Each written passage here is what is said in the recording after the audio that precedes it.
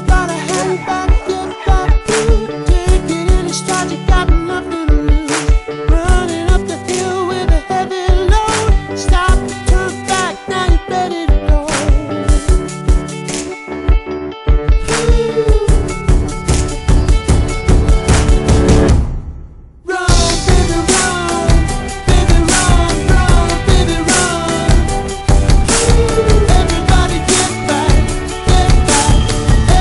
On the run with KFC Snacks.